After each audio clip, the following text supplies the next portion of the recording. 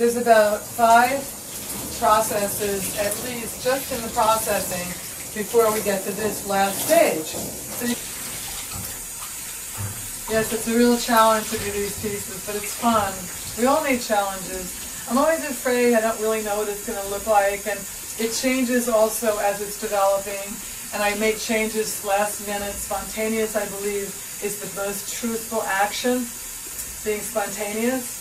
So I'm very spontaneous, and I go with the flow of how it goes and how it wants to go.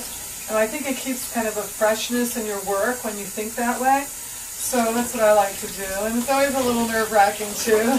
But again, we have to try new things all the time.